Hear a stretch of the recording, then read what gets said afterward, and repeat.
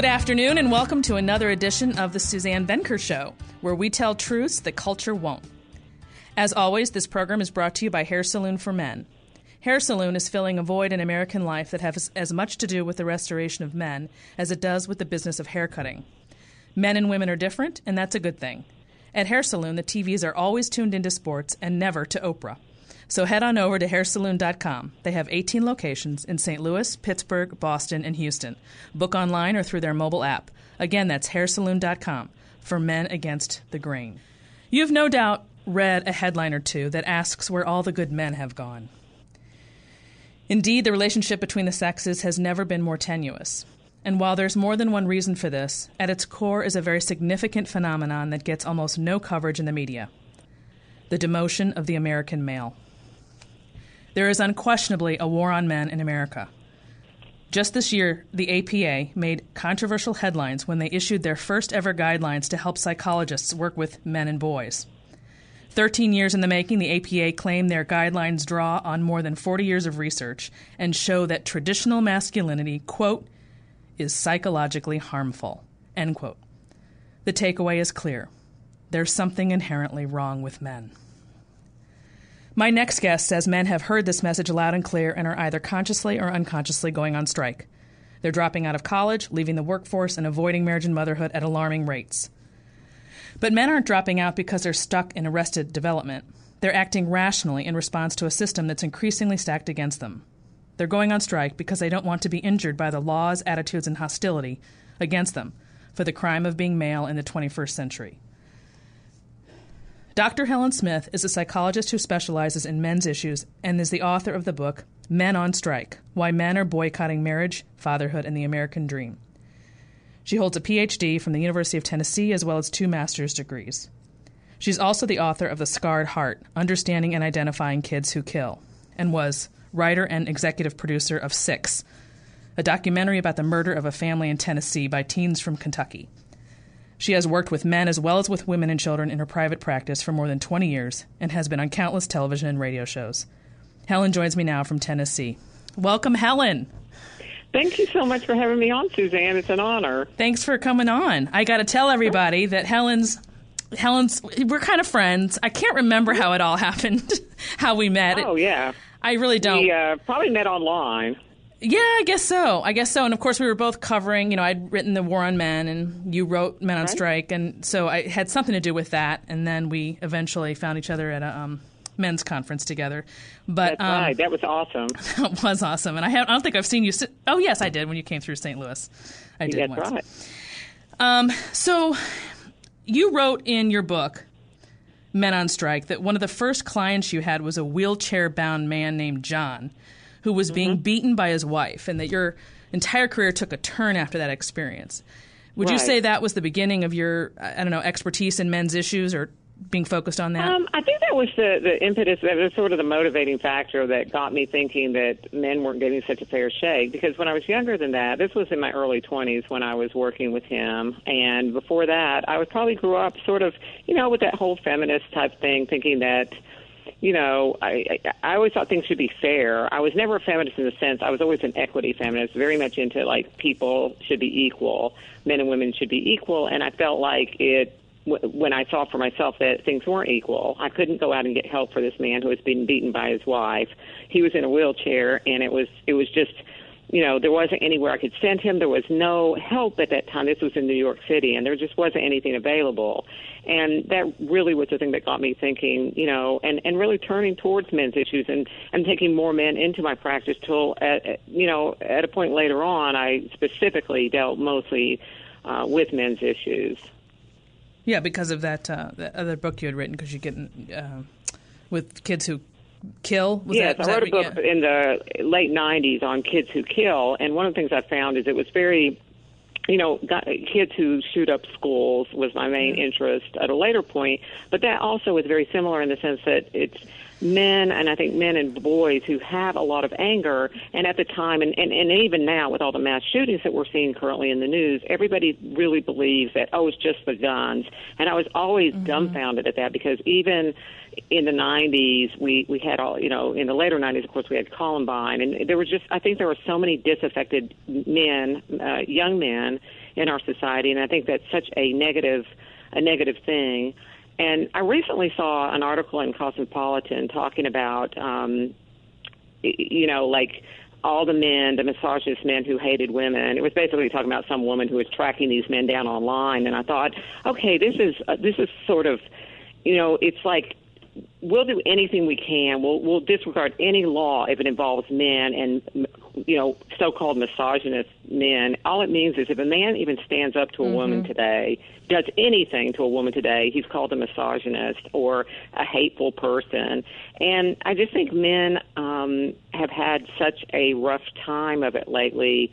And I, I'm not saying these mass shootings um, occur because men are, you know, but I do think that men and boys are treated poorly, and I think you get you reap what you sow. And I, not that that's a justification, but mm-hmm. there is a, a terrible. Um, I, I think it's a terrible societal failing that we have right now that we don't look after our men and that we feel that men are you know when you're when you're basically told in my book uh the scarred heart i talked about when kids are called criminals every day in the schools or every day in society as a teenager, people sort of become what what people talk about. And I think for men today, if all you hear is something negative and all you see is a negativity about masculinity, you start somehow to feel that. Mm-hmm. and i think that's a very negative thing. What do you think? I i mean I, obviously i could not agree more. It could not agree more. And what makes your work so interesting is that you're you've worked with men, you're a psychologist, and so many psychologists today, as you know, are so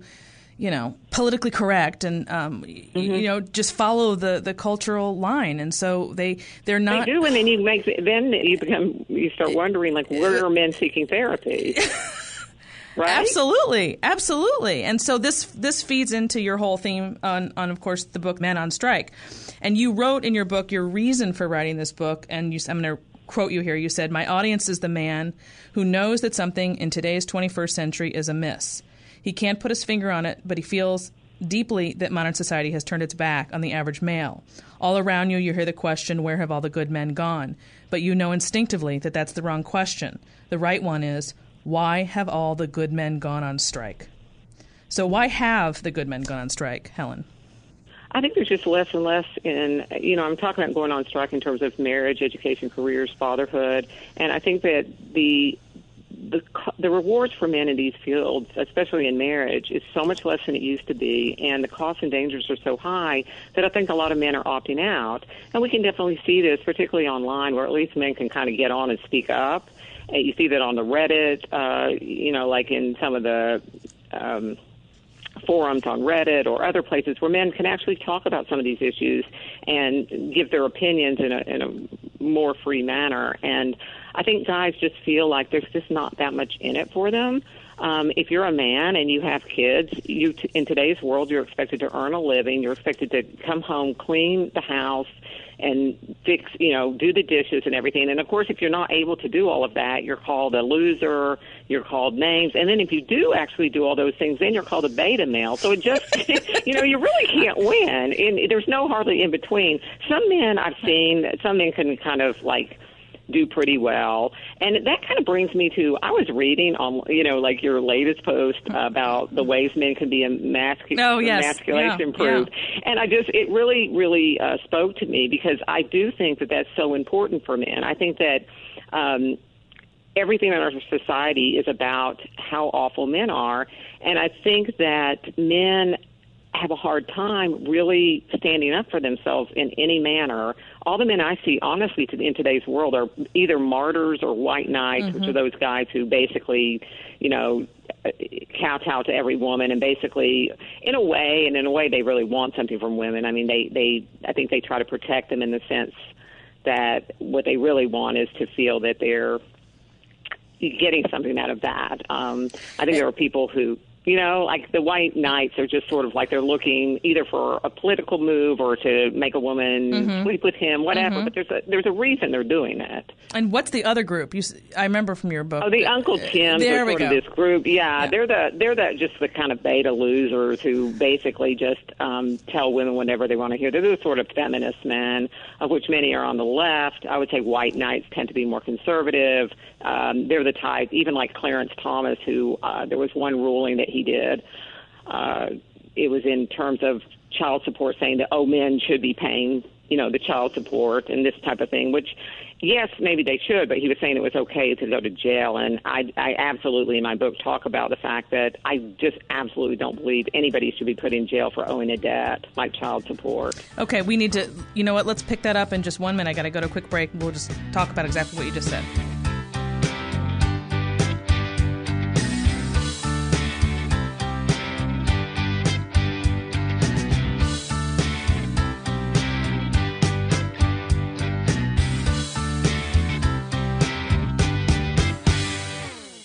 Are you unhappily single? Does your marriage or relationship feel hard? I get a lot of emails from readers who are struggling in their marriage or relationship. Unfortunately, the help an individual or couple needs can rarely be answered in a series of emails. For this reason, I offer relationship coaching for those who are struggling to find love and for couples whose marriage or relationship feels stuck in a negative cycle. Go to SuzanneVenker.com and sign up today for a coaching session with me and learn the tools you need to find love and sustain it. It's so much easier than you think. That's SuzanneVenker.com.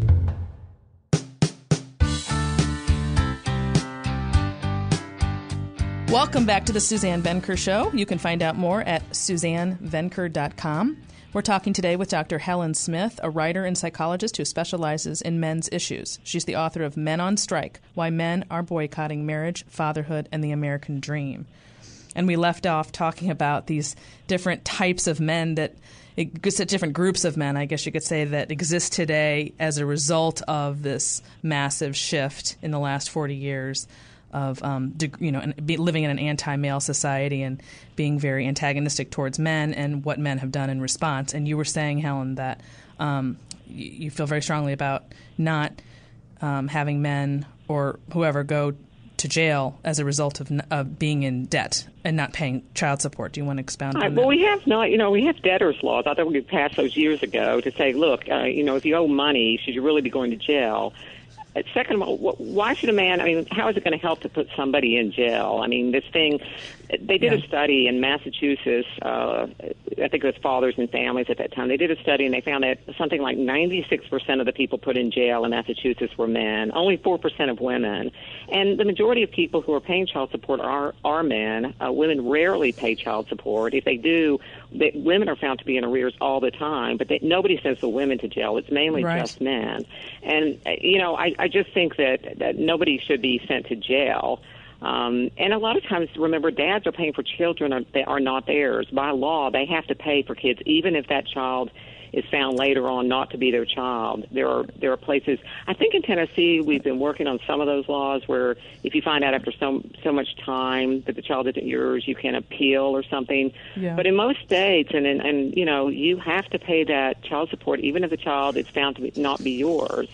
And it's just that anytime a man's involved, um, it just seems like we have laws on the books that say, hey, you know, it's a man. And I've literally got, had men in my practice that are so used to going to jail. Like I had a guy once tell me, "Oh yeah, my son was put in jail for child support," and men don't even think about it. It's just, "Oh yeah, I went to jail," or "My son went to jail." Like, would a woman do that? No, we don't. We just don't put women in jail the way we put men in jail for any little thing. And I just, I think that. um you know, child support. You know, if you look at it as a moral issue, should you pay for your children? Yes. Would I? Yes, of course, you should. But then, should the government come and put you in jail if if you don't pay or you pay, you know, late or you know, it just seems to me that it's it's kind of defeating the purpose, um, and I don't think it's helpful to the child at all if dad's in jail. Okay, I want to go back now to what you were talking about before with, with marriage specifically and how that's become not as, um, you know, it's just a better deal for women than it is for men. And so much of that has to do, as you were explaining, that it's not as though men can. Um, um, be primarily responsible for providing for their family, although they're still expected to do that as much as they ever yes, were. and in fact, the Pew but, Research but, Center did a study, and they found that when that the majority of people still expect men to provide for families, particularly, you know. Right, and and, and that's all fine, except when you're adding on to that. Oh, and by the way, when you come home, you're not going to have any moment to breathe, and you're going to have no time for yourself, and there's no place where you can go as a man and be alone with men because those spaces are gone. Yada yada yada. So basically, you're a slave to your life.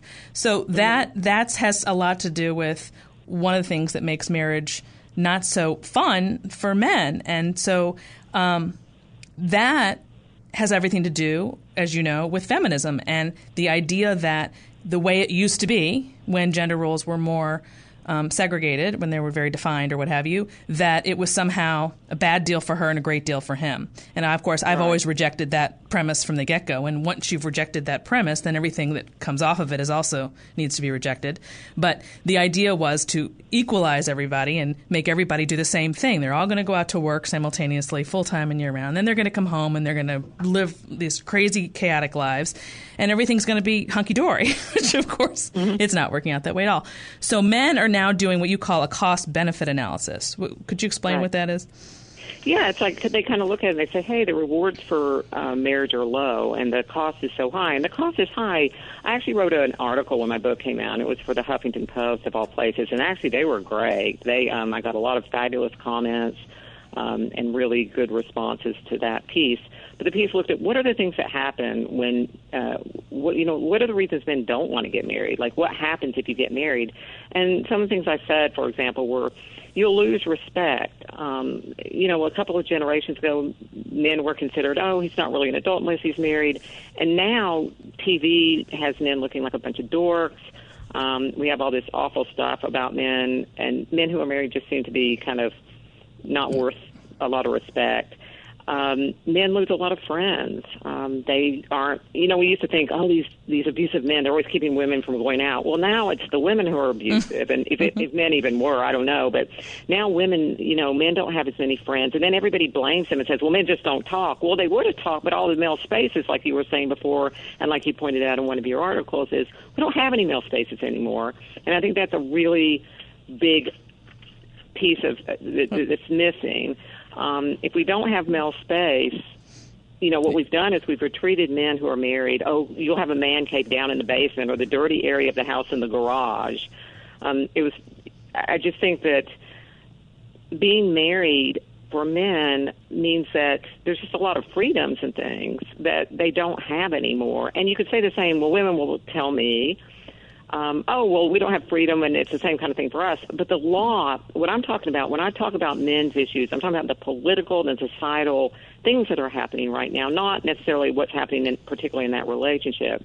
Politically and society, our society basically tells men that they're the they're the ones who are going to pay. I mean, the court is not is is much more favorable in general. I'm not saying in every case to women when you go to court. Um, if there's domestic abuse, generally it's a man who's going to pay for that, even if it's a woman beating him. Um, if a woman tells a man what to do, which in many cases I see so many wives who are always telling men mm-hmm, mm-hmm. what to do. The, if the man says anything or speaks up in any way, he's either seen as a mo- as a as a monster. Uh, he's seen as the problem. Uh, the woman has been told over and over by society that she's the empowered one now.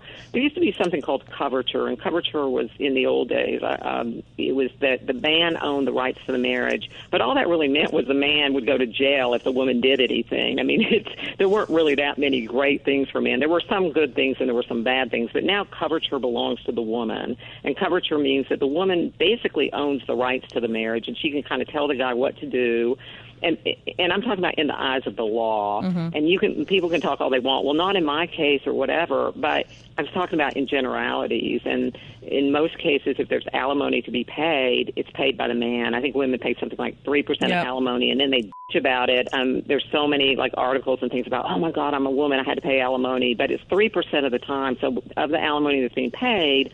90 something percent is being paid by men. So I mean, yeah, you know, it's it's men have the most to lose.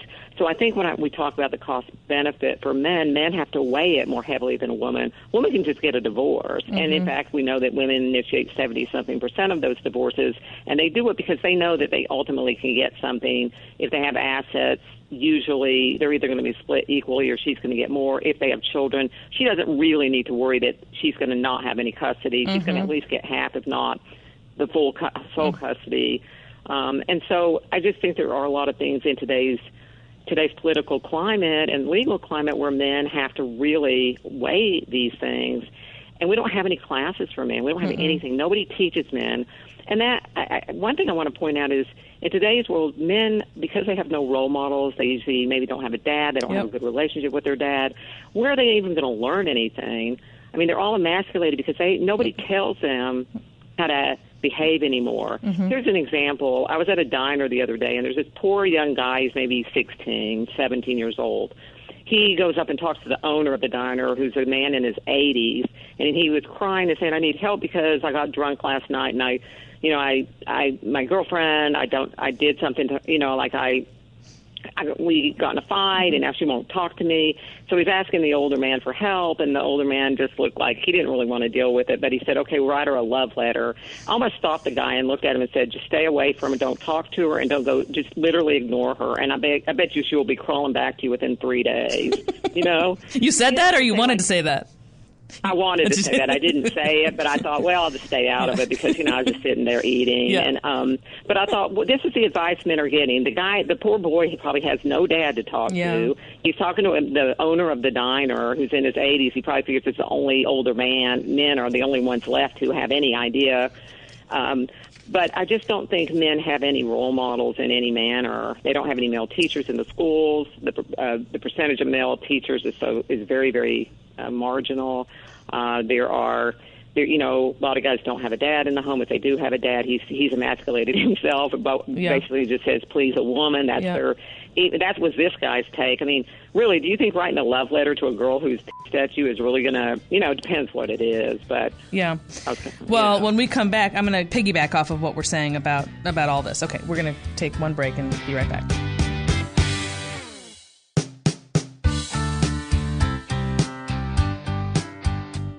Welcome back to the Suzanne Venker Show. You can find out more at suzannevenker.com. This program is brought to you by Hair Saloon for Men. At Hair Saloon, customers receive a complimentary hot or cold beverage as well as a shoe shine, hot towel, and mint. At Hair Saloon, they don't offer coupons because they don't need to. Their prices are always reasonable, and customers never feel shortchanged when they walk out the door. So head on over to hairsaloon.com. They have 18 locations in St. Louis, Pittsburgh, Boston, and Houston. Book online or through their mobile app. Again, that's hairsaloon.com. We're talking today with Dr. Helen Smith, a writer and psychologist who specializes in men's issues. She's the author of Men on Strike Why Men Are Boycotting Marriage, Fatherhood, and the American Dream.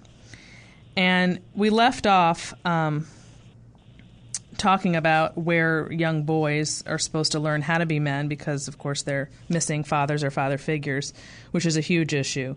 Um, in fact, so much so that I find it funny going back to the the gun issue that we're talking about. It's to me, it's such a simple.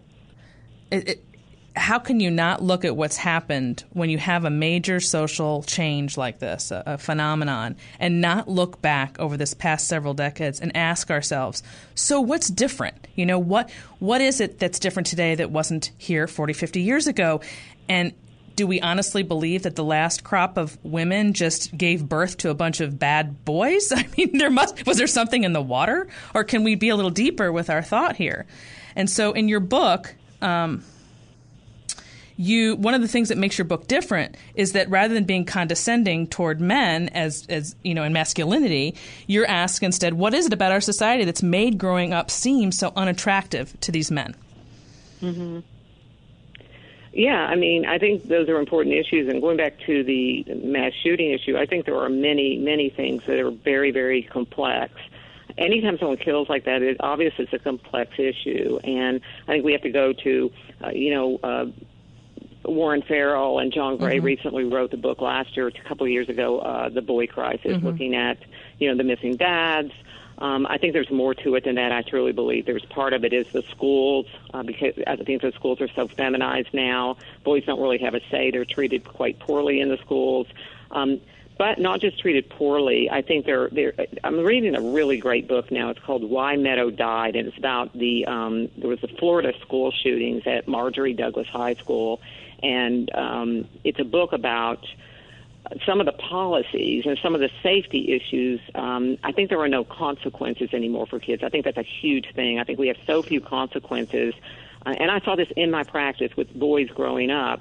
Uh, I had boys as young as eight years old do things like slash tires. I had a boy who was, you know, at 12 he murdered, and before that he was stealing cars at like 11. And each time they would let they would not do anything. There were no consequences. So I think one of the things that's happened in our society is a simultaneous situation for boys, which is that we treat them very poorly and we talk about toxic masculinity, and at the same time, there are no consequences. People, adults, act like a bunch of idiots. Adults go around and they just they there are no consequences for anything. Mm-hmm. There's this politically correct situation in the schools. They're um, lazy about it. It's laziness. They're lazy. Yeah. yeah. Um, it's not just laziness. You actually get accolades, especially under the Obama administration, where there's just accolades for being a politically correct. Well, moron. yeah, right.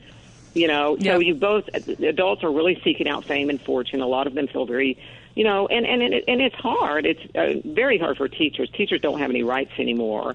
I mean, teachers today are basically left it with um, trying to deal with literally a you know, we mainstream a lot of kids. Uh, I think that's what happened in this one case at the, in the Florida shooting, which was the Marjory Douglas, uh, Stoneman Douglas. That was I think there was a lot, you know, kids are always mainstream now, um, and some of those kids who have behavioral problems are put in regular classrooms. So that's another change. I guess what I'm trying to do is point out to you there are many, many changes that have occurred in the last, you know, 50 years in our society I don't think there's any one thing that you can just point at. Like people just say, "Oh, it's the guns." Really? Mm-hmm. Okay, let's take every gun away. You'll still have these things going on. I mean, we we have even in Japan, people get out with a machete and mm-hmm. you know and, and use it to hurt people.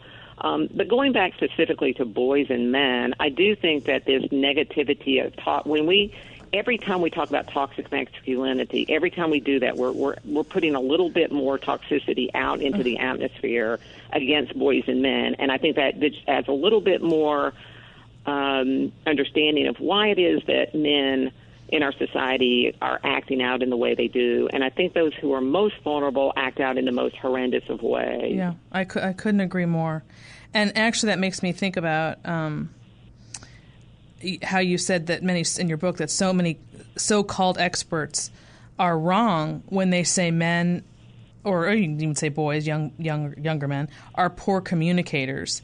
And you wonder, well, you, you say all, you know, you have them raised in this environment, and then you complain that they're not communicating properly.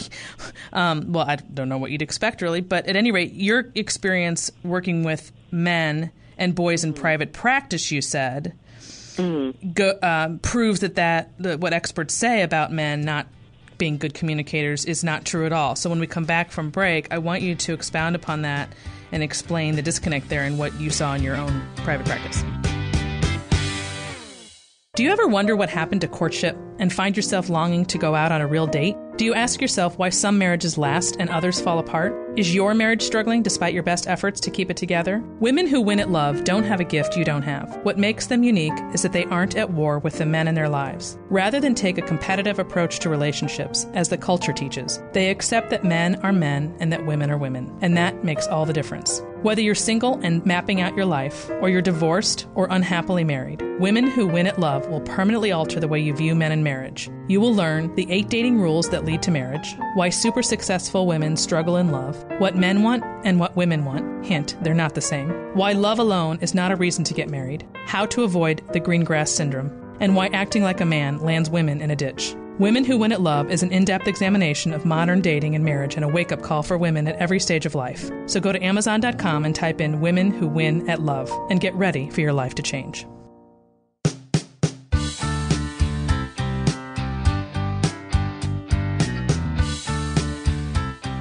And of course, the Suzanne Venker Show would not exist if it weren't for the good folks over at Hair Saloon for Men. And twice a month, the CEO of Hair Saloon, Tom Twellman, or his son, Tom Jr., joins us for a conversation about uh, what's new at, in their business, and then as well as the topic of topics on my program, which are as dear to them as they are to me. So we have Tom Jr. on the line today. Hi, Tom. Hi, Suzanne. How are you? Doing just fine. Good, good. Glad, glad, to be joining you today. Excellent. So, what's new at Hair Saloon?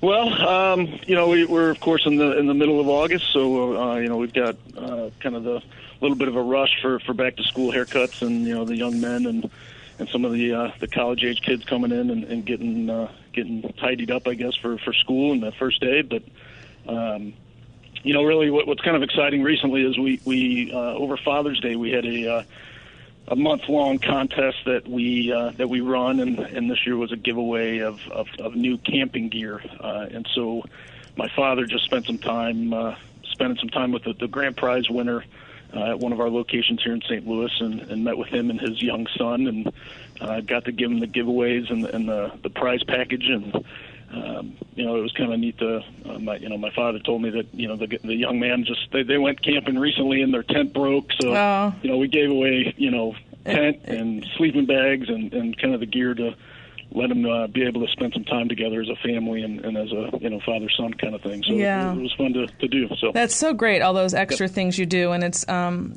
perfectly in line with the person I'm going to be interviewing today because we're going to talk about about the decline of male spaces. That's one of the things that we're going to discuss. Yep. And of course, Hair Saloon is one of those few places that's trying to fill that void as far as giving a real good male space where um, you know things are geared toward towards men and boys. That's absolutely right. You know, we, you know, my father when he started the company, you know, 20 plus years ago, um, you know, it was kind of the the reinvention of the neighborhood barbershop. You know, so you know, my my generation, I, you know, I, I never got to experience that so much. You know, but um, it was kind of trying to, you know, my dad was trying to bring back that that father son, you know, experience and kind of a ritual that that fathers and sons did uh, together. And so that's one thing that, that's really important to what we do. You know, we, we encourage that father son visit. Um, you know, of course, you know, the barbershops aren't, you know, around. And, and, and what we do is not necessarily, you know, the traditional barbershop way. You know, I mean, we've got, you know, young women that, that work for us that, you know, um, it, it's not just a male only uh, establishment in that regard, but, um, you know, it, it's, it's a great place for for a young man and, and their and their sons to come in and spend some time together. And you know, I've got friends and you know brothers and, and my own kids that, that love to do it and uh, love to visit the store. So it's a, it's an experience that uh, we definitely encourage uh, as, as a father and son. Excellent. Well, like I said, it fits so well into um, what I'm going to be talking about today with, with Helen Smith, and uh, I think you've had a chance to to um, hear the program, so I, I, didn't know if you had anything you wanted to add as far as this issue of men being on strike today and what you're seeing maybe in your world with re- with respect to that issue. Yeah, I mean, I, I think I think what it is is, is kind of, you know, I mean, I'm going to let the experts talk talk about the, the the the details of it, if you will, but um, you know, that's one thing that my that we tried to address, and what my father addressed when he founded this company was he kind of saw the writing on the wall of men were kind of being ignored, you know, not just in in our industry, in the haircutting industry, but but I think in society in general. And so the our approach and our uh, you know what what he decided to do was was to kind of go against you know what the the culture was bringing and what they were offering to men, and and so trying to reintroduce you know some of those traditions and some of those uh, experiences, but but also, um, you know, one thing that I've kind of seen as a, you know, a 40 year old with, with young sons is, you know, kind of this, you know, it, while while media and, and kind of the the narrative has been pushed that you know toxicity of manhood and masculinity and all that is. I think there's a resurgence happening, and and and it's kind of exciting to see. And I, I know you and I have talked a little bit about, you know, some of the people that I've connected with here locally in St. Louis, but also nationwide. And um, you know, I'm going to drop a name of, of a guy that that's doing some great things here locally. Is uh, Larry Hagner of the Good Dad Project. Yeah. You know, I think you know podcasts and social media. I, I think that's the positive piece is that you know we can connect with fathers from all over the country and connect with people that are doing the same thing. Um, you know, through the digital media space, but um, but I do think that you know this toxicity and, and the the language that that you're hearing out in out in society is uh, is really putting men on edge a little bit in terms of you know they don't want to you know step on the wrong toes yep. or you know yep. get in trouble. So it, it, it and the unfortunate part is that it's moved from just sort of a, a, a demotion of the American male to an outright right. attack, and so that's that's of course my biggest concern because that is of course so far reaching in terms of its um, fallout. Absolutely. Yep. Yeah. So, well, thank you so much for coming in today, Tom. Is there anything else you want to add before we let you go? Yeah, the only thing is, I mean, if, if anybody wants to get in contact with us, or you know, if they're in the area, we're, we're in St. Louis. We have uh, 16 locations here, and uh, we've got locations in Boston, Pittsburgh, and, and soon to, to open up in Houston. Um, so we're, we're excited about that. So if anybody wants to get in touch with us, they can find our uh, information at hairsaloon.com. Uh, we're also franchising, so anybody interested in franchising, they can visit our website as well. So hairsaloon.com. Appreciate the opportunity, and I'm glad I was able to, to step in for for my dad, and uh, hopefully represent the, uh, the the name and the and the brand well. So excellent. Good talking to you. Anytime. You too. Yep. Take care. All right. Thanks. You're a man that respects quality over quantity. You value relationships that can stand the test of time. You enjoy convenience without sacrificing comfort. At Hair Saloon for Men, we get it. We are restoring the time honored tradition of delivering a haircut experience men across all generations can depend on. Because sometimes the man everyone depends on needs a place of his own to depend on. The experience goes well beyond the haircut. With every perfect haircut service, you receive a complimentary beverage, a relaxing shampoo, a hot towel and mint for the perfect finish, and remember to take advantage of the complimentary shoe shines. While today's world is filled with numerous clip joints and fancy salons, Hair Saloon is building something better, something different. Book appointments online 24 7, and walk ins are always welcome. Hair Saloon, for men against the grain. Visit hairsaloon.com to find a saloon in your neighborhood or for franchising opportunities. That's hairsaloon.com.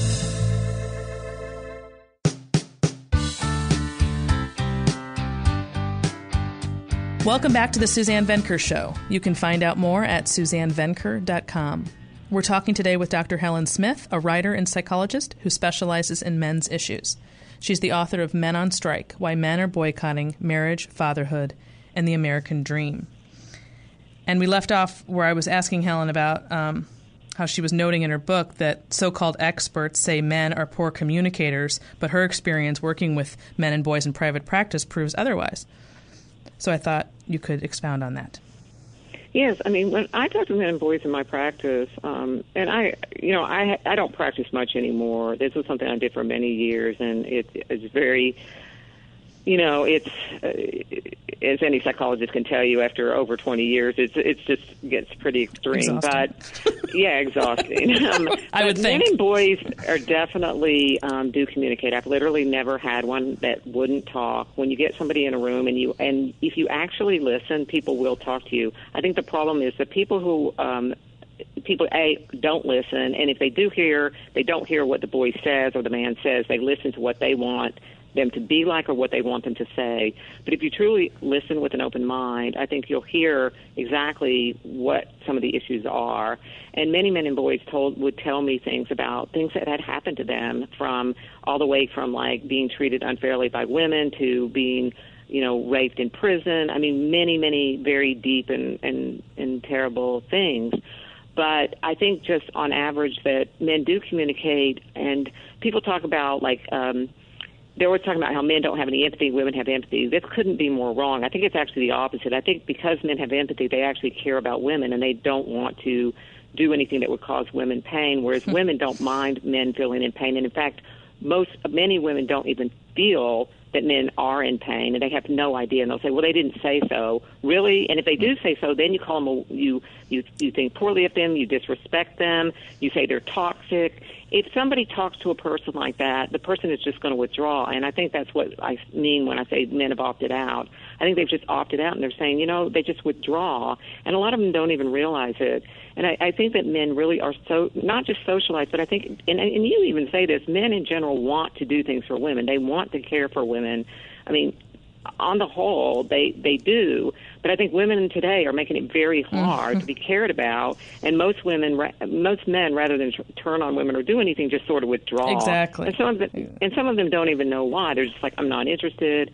I don't care anymore somebody broke their heart or whatever and they just said the heck with it or whatever and they don't even try anymore because it's just i It's think too- women Go uh, ahead. i just think um people you know i think women always think it's the man's fault. And when you come at an issue not 50-50 when you come at it like not it's not about us it's all about me and what i need then you're going to have a bad relationship. And women can think all they want. They can sit and say hey i'm going to you know i'm empowered. Well the minute i hear a woman saying empowered i know she has no like she feels like completely like a loser. And in fact it's it's, it's also a way to to receive privilege. The minute you hear someone say they're empowered it really means like i'm seeking out privilege for myself and responsibilities for you as a man women have privilege men have responsibilities and that's the way men in today's world a lot of men see marriage not all but many Yeah, no question, no question. So at the end of your book, Helen, you you do offer some solutions or things that people can do to fight back against this cultural. Uh, I don't know. I want to call it a narrative, but of course, it's much bigger than that phenomenon. What are some of those things? Well, I think one of the things mainly is to speak out when there is a problem. And I used to think it was great to speak out online and stuff, but sometimes I wonder if it's even worth it. People always just get on and drive you crazy. I mean, I wrote Amen. five or yeah. six years ago, and I swear I don't even know if it's worth your time. But I do think in a relationship, it's important to speak out. I think for men in general, like if you're if there if a woman or somebody is saying something that you disagree with or that you don't want to do, I'm not saying you have to put your foot down and yell at her or anything, but I think you just have to say, no, I'm not going to do that, or I don't feel this way. And you have to stand up for yourself. The minute you let a woman run over you or another man, one of these beta male types, the minute you let them run over you, you're done for because people will always keep keep they smell you know, it. Pushing they you. smell it. Yeah, they do. They smell fear. Yeah. So I think you have to do kind of what's right for you, and you have to stand up for yourself. And I think men in general, and I think that's one of the things that I do admire about the Trump era. I do think men more and more, even though they're standing, men will stand for politics. They'll stand for freedom, and they'll mm-hmm. stand for individual rights, but they will not stand for themselves, Themselves. because they don't see this as an individual rights issue. Men have the right to happiness. This is a state, you know. I mean, part of the American dream is a you know right to life, liberty, and pursuit of happiness, and men don't really see that they have a right to happiness because if they did, they would stand up for their their liberty in the same way that they stand up for in the political realm, and they wouldn't see this. It is not a woman's issue. Relationships aren't women's issues; they're human issues, and you need to see them that way. Um, if you get a chance to ever write about men's issues, do it because we need more men's voices. We don't necessarily. It's great to hear women's voices. It's great to hear our voices. But the best thing is if men speak up, and and there's ways to do it. Men mm-hmm. will tell me, "Well, I can't speak up because you know no one will listen, or or they'll they'll you know go after me." Well, maybe they will. But you know what? So what? People come after. I'm sure they come after you. They come after. You know, people don't like what I, I have to No, say. what's that like, Helen? What's it like? What's it I, mean, like? I wouldn't know. I wouldn't know. I'm always very popular in any crowd I'm in.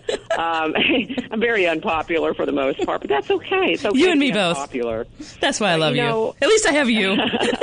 well, at least you know we got a we got a uh, group of two here. Now there, I, I, that's okay. It's okay okay to be unpopular, and it's okay to stand up for yourself. So the thing I would say most to men is to speak up, particularly in your relationship, and and let if a woman's doing something, you don't need to yell or scream. You just you know just tell her that no, that's not going to happen, or you you don't feel that way. Absolutely. Um, and do it immediately. Don't wait till the woman's already like you know you're already married, and then she starts you know, and then you think the well, pattern starts. Right. Yeah, Excellent. I think it's very difficult at that point.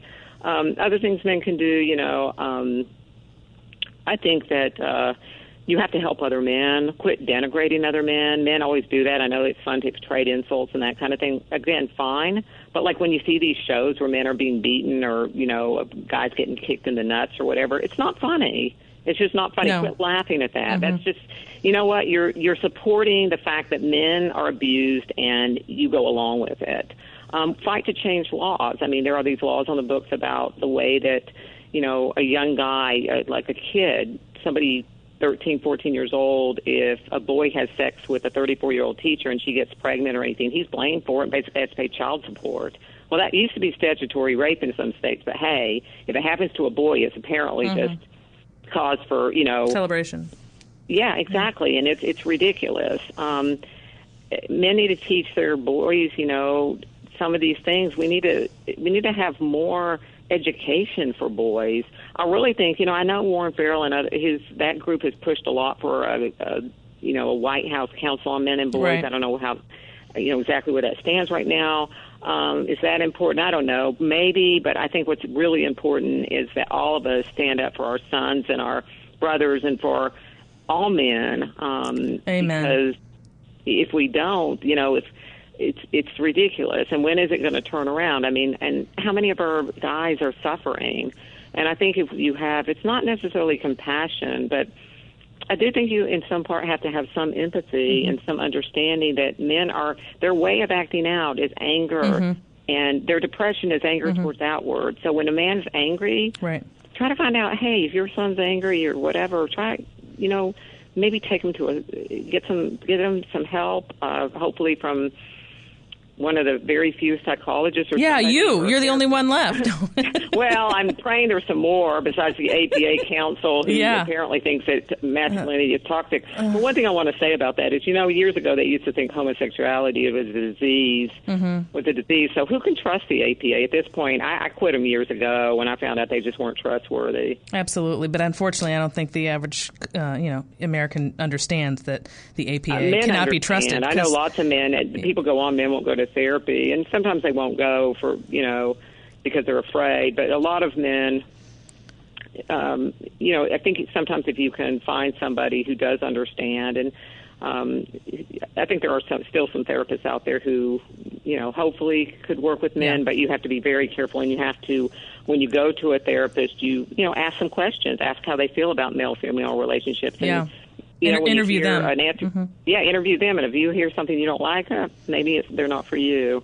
Well, we're going to have to leave it there, Helen. This has been so great. I thank you so much for coming on. This was a great conversation, and I know it's going to help a lot of people um, in their own lives. So, is there a specific place where people can go to find out more about you, Helen? Um, they can always go to pjmedia.com and just, um, I'm a columnist there. Uh, it's Dr. Helen. If you look there at pjmedia.com, you can find me. I'm also over at instapundit.com, uh, writing sometimes, so either place. Excellent. Okay. Thank you so much, Helen. Really appreciate it and hope to talk to you course. soon. My guest today was Dr. Helen Smith, a writer and psychologist who specializes in men's issues. She's the author of Men on Strike Why Men Are Boycotting Marriage, Fatherhood, and the American Dream. Well, that wraps up another edition of the Suzanne Venker Show. Don't forget to tune in next time when we talk with author and psychologist Sean Smith about how men can allow the right women into their lives and keep the wrong ones at a safe distance. And if you haven't done so already, don't forget to subscribe to this podcast and please, please take two minutes to give us your review. If you want to hear more, that's really the best way to make sure it will happen. Finally, if you have a comment or question, email Suzanne at the SuzanneVenkershow.com. Thanks for listening, everyone. Have a great weekend. Hair Saloon. It's more than just a haircut. You walk in the door, tired, spent, looking a bit ragged. You're greeted by a warm welcome like you've been here before. A complimentary drink slides across the bar, quenching your thirst for comfort and convenience. The sound of clippers and conversation can be heard drowning out the noise of the world. You sit comfortably, surrounded in soft leather and smooth chrome. The smell of oak and Clubman talc reconnects you to traditions your father and grandfather once knew. The soothing sounds of sharp metal trim away at your problems. Staying put in a comfortable barber chair, you lay back, resting your eyes as warm water and sweet mint soap washes away your worries. You recapture a few minutes to feel strong again, to look your best, and to get ready for what's next. And you're ready to repeat again a few weeks later. Hair Saloon, for men against the grain. Visit hairsaloon.com to find a location near you. That's hairsaloon.com.